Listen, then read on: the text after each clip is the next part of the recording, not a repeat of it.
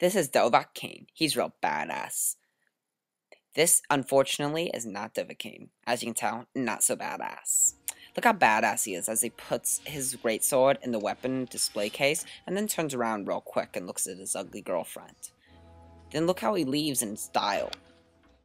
Watch as he sees his girlfriend and he decides that she's ugly, so he wants to kill her. And he fools with her off of a bridge, and she hits a rock and she dies, and she looks like a real dumbass. So he's like, oh, I think I can make it. So like a badass, he just doesn't give a shit, and he decides to jump. Watch how he kills him like a badass, and he decides, what the hell, I'm just gonna kill two gods as well, because they're getting in the way of things. And then he also decides, you know what, I'm just gonna kill my ugly girlfriend as well. And she's like, oh shit.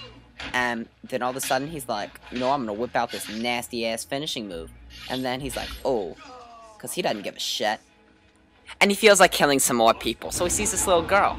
And wouldn't you know it, she doesn't give a shit. Oh, they should be friends. So cute. And he turns around. So he begins to walk. And he sees this lady. And he breaks her heart. Watch how he's running. And he sees a fat ass cow. So he decides to stab it. And it has a seizure.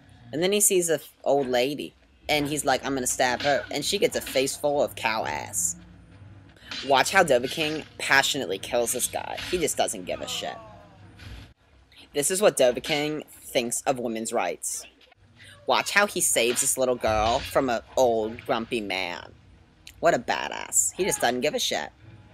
Thanks for watching!